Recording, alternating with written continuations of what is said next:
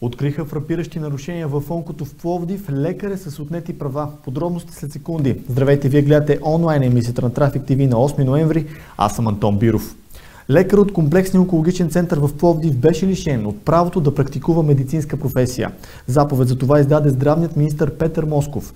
Медицинският одит в лечебното заведение е показал фрапиращи нарушения, а здравното министерство започва цялостна проверка там. По-рано днес служителите на КОЦ Пловдив се събраха на протест в защита на професията и лечебното заведение. Около центъра се развихри скандал заради твърдения, че са извършвани ненужни операции, при които са махани здрави органи от пациенти.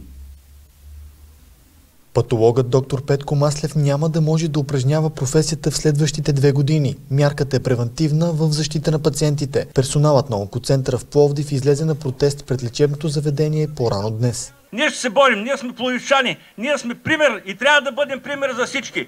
След нас няма кой да се защити. Останалите диспансери ще ги смачкат за нула време. В протеста се включиха и бивши и настоящи пациенти. Доктор Валентин Иванов ми подари живот.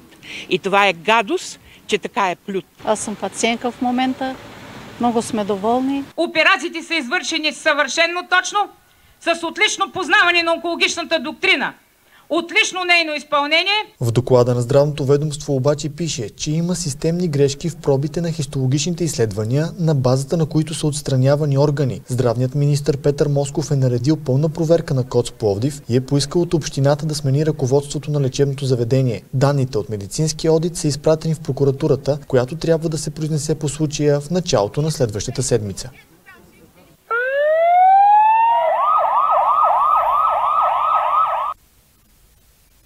Извършителят на двойното убийство в Пазарджик отива в психиатрия. Това реши съда днес.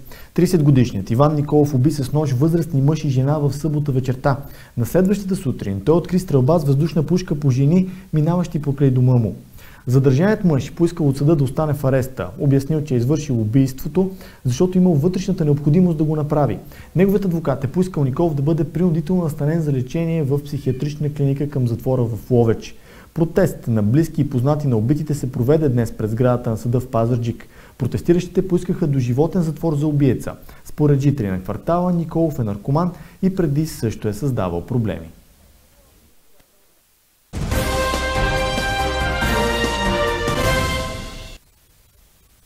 Националният референдум, иницииран от екипа на шоуто на Слави, отива в парламента. 13 000 гласа не са били достатъчни, за да станат предложените в него въпроси и закони. Така въпросите ще бъдат обсъдени от народните представители. В същото време, в неделя се задава балотаж между генерал Румен Радев и Цецка Цачева за президентския пост, а премиерът Бойко Борисов заяви, че ако ГЕРБ не спечелят изборите, той ще подаде оставка. В тази сложна политическа атмосфера попитахме повдивчани вярват ли, че може да има оставка на кабинета и дали са изненадани от изборните резултати. Вижте техните отговори. Пловдив първи по резултата е генерал Румен Радев, след него е Цецка Цачева. Това изненадва ли ви? Изобщо ме изненада резултата. Може би имам повече поддръжници тук, не знам. Според мен Пловдив винаги си е бил син, обаче не му харесва начина на управление до сега. А в момента не са на власт червените. Според мен се търси просто някаква промяна. Народа загуби доверие. Защо? Защото обещават, нищо не изпълняват. Дет се вика, властта е уж дадена от Бога, па е събарят хора, е събарят. Очертава се най-вероятно референдума да мине само през парламента, да не е задължителен заради недостатъчната активност. Мислите ли, че ще успеят тези въпроси да минат през парламент? Ми не, честно казвам. Защо? Ми, защото управляващите нямат изгода от това да минат. Предполагам, че ще ги приемат. Защо? Еми, да помислят за народа. Да стане по-добра държава. Премьер Борисов каза, че ако не спечелят изборите, ще подаде оставка. Смятате ли, че ще го направи? Няма да го направи. Къде ще направи този бял хляб? Как ще направи? Не знам.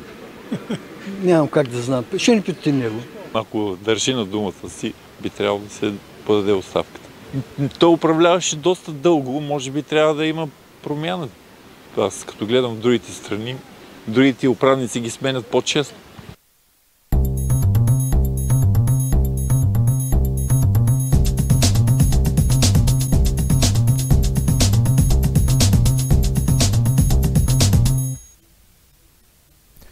Кондуктор пие кафе и пуши цигара в автобус в Пловдив, а освен това се заяжда с пътниците. Видео с нарушението ни изпрати читател на trafficnews.bg. Според него, освен кондуктора пуши и шофьорът, но той не се вижда на записа. Автобусът се движи по линия номер 18. Кондукторът блъскал хората и ги обиждал да не му стоят на пътя. Обяснявал, че трябвало да си коли зайците, а не да се разправя с билети, разказва нашия читател. Предадохме сигналът на фирмата превозвач Автотранс Чулаков. От транспортната фирма казаха, че след проверка ще санкционират кондуктора.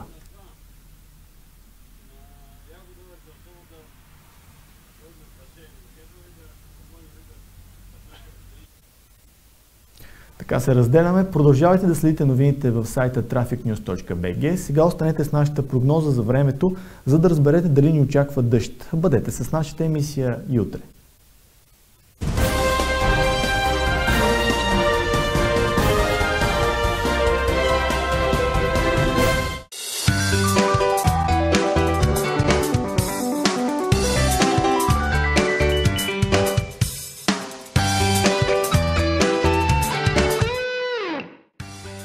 Понижаване на температурите се очаква от утре в Пловдив. Синоптиците прогнозират валежи, а минималните температури ще са около 11 градуса.